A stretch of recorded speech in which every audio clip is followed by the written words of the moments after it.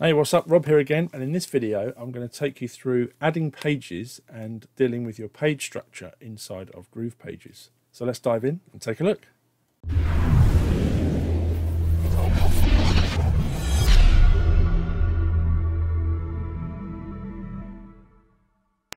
Okay, so we're inside the builder. We've got our Groove Pages site open. Now, if you've been following through on this series, we've got one uh, a one-page website We've brought in a template. Um, we've tweaked it. We've added our own images. We've added some um, extra. We've changed icons. We've added our text. We've changed our buttons, things like that. Now, what I want to talk to you in this one is about adding pages. So if you remember when we looked at the interfaces, you've got the pages menu here. And at the moment on this site, this tells us we've got one page. Now, let's say this is, uh, we're imagining this site is to download an ebook so when someone downloads, maybe it would, take them through to a thank you page. So let's say we're going to add a new page. So we can go in the pages menu. We can click the plus icon at the top here. And that now brings you to this page here where you can choose to either uh, use a blank template or you can choose from the existing templates that exist here in Groove Pages. So let's say, I mean, you can use the tags here, thank you page, or I can go under here and I can look at uh, thank you pages down here. Let's click that one. And let's just pick one. Um, let's just do this one. Select and it will bring it in. And now it's going to bring in our second page to our website. So if I look at the pages tab again, you can see I've got page two. We don't want to call it page two, so we'll click on the three dots, edit settings, and let's call this thank you. That's the page name. The URL might be thanks, so it'll be yourwebsite.com or whatever it is, slash thanks, that's the URL. Um, and then the page title might be um, thank you for downloading or something like that. You can put in all your meta details, um, again, any custom coding, any tracking codes, open graph settings, things like that. Once you've done your uh, page settings, click the tick and they will take effect. And now you can see we've got our landing page and our thank you page. Now let's change the name of our landing page. Let's call it um, Hack Your Mindset. And let's call it Get Your Free Mindset Hack Today. And we can do the tick. So now we've got two pages. Now this is the page that's highlighted is the one you're, you're editing.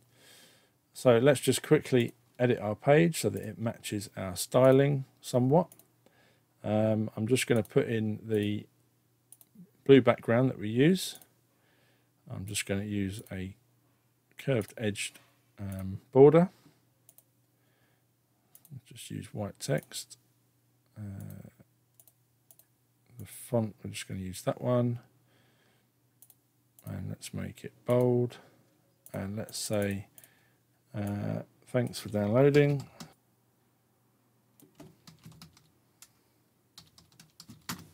There we go. And then we might put some more text in here. Uh, check out our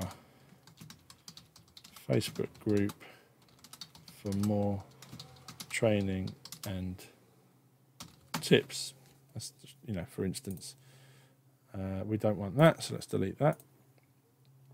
Follow us to stay updated with announcements. We might keep those, and let's let's leave that image in. But I could change that image if I wanted to. We can change our logo. Just have an image of your logo and insert it here.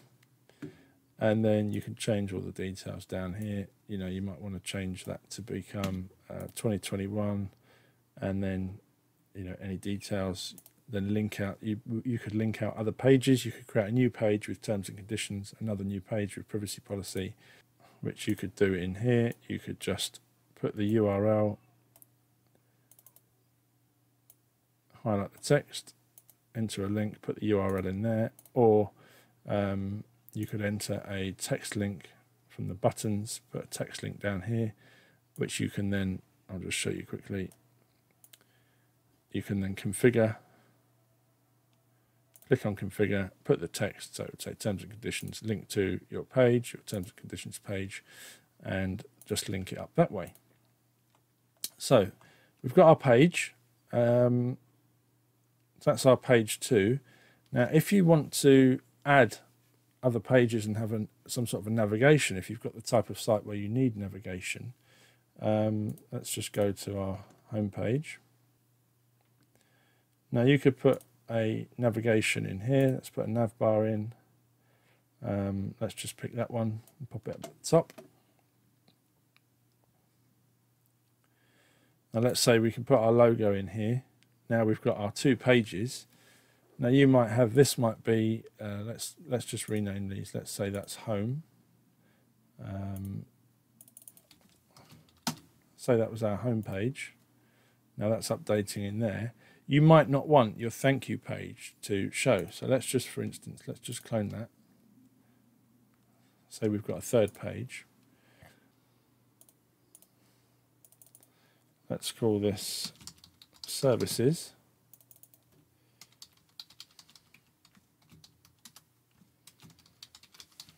Okay. Now, when we go to our home page, we've now got home, thank you, and services, and these are links to those pages.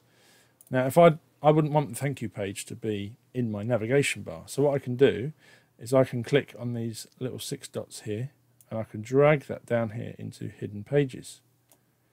And now you see it's disappeared from the nav bar. So if you've got any pages that you want to remain private or you just want to give someone a link to, um, then that is the best way to do it. You create your pages and then you can drag them into hidden pages. They'll be hidden from the navbar. They won't be they won't be able to be found unless someone has the link to them, or unless in this case when someone clicks this button, it's going to take them through to that page. Uh, so that's really how you navigate the the pages. So this shows you your pages up here. This gives you control of your pages and you can edit your page settings from within here. You can clone pages uh, save them as temp templates, drag them into hidden pages, uh, and the other way of doing that, which is it's just as quick, I'm just used to doing it that way, you can also click on these three dots and hide from navigation and it will put it under there for you. So that's all for the pages section. Um, now that you know, you know, you've got your, it's all coming together now, you can bring in a site from a template, you can add more pages, you know how the pages work and interact with each other. So I hope you can see how easy and quick it is to use Groove Pages. So I'll see you in the next video. Thanks for watching and take care.